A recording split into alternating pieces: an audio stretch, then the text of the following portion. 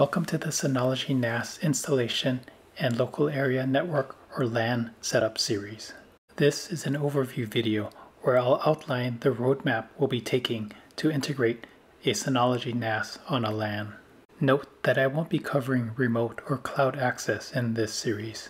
I'll also focus on the SMB network protocol that is accessible by Windows and Mac OS systems.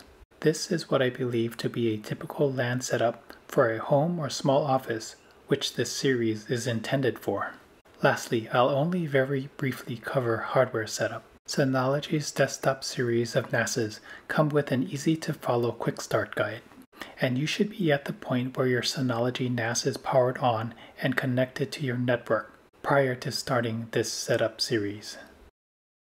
If you are still looking to purchase a Synology NAS, there is a link in the description below to a blog post on picking the right 2-bay Synology NAS for your business. With that all covered, let's discuss each video in the series laying out the roadmap we'll be taking. The first video will cover installing DiskStation Manager or DSM, which is the web-based operating system that runs on every Synology NAS. We'll go from finding your Synology NAS on your network to installing and logging into DSM for the first time. Next, we'll set up a storage pool and volume using Storage Manager. Before we can store any files on a Synology NAS, a volume is required, and this is the next step we need to take in our setup process. Our next step will be assigning a static IP address.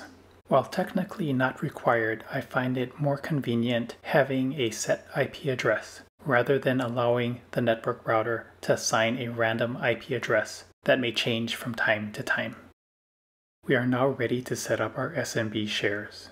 In this step, we'll make sure SMB is enabled and then create a few shared folders with the idea of assigning specific permissions to individual users or groups as we continue through our setup process.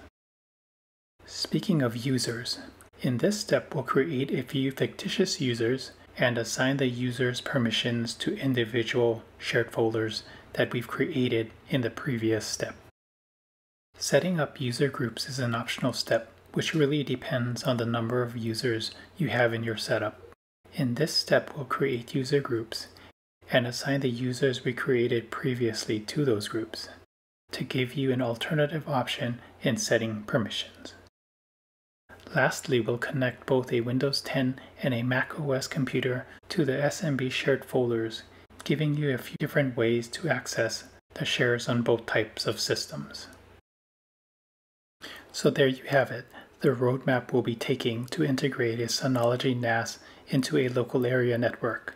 As additional videos in this series are added, the description below each video will be updated to include the links to all other videos for easy reference. If you enjoy this type of content, please like this video and consider subscribing as it helps grow this channel. Thanks so much.